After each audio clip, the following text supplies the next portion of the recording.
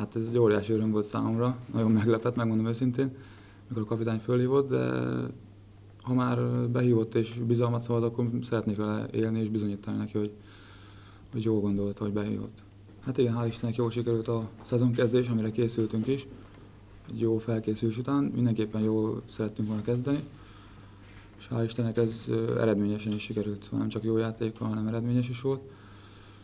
Ö, mindenféleképpen folytatni szeretnénk, tehát nem elégettünk meg egyáltalán, úgyhogy most is a Hali ellen is ugyanúgy három pontot szeretném mindenképpen itthon tartani.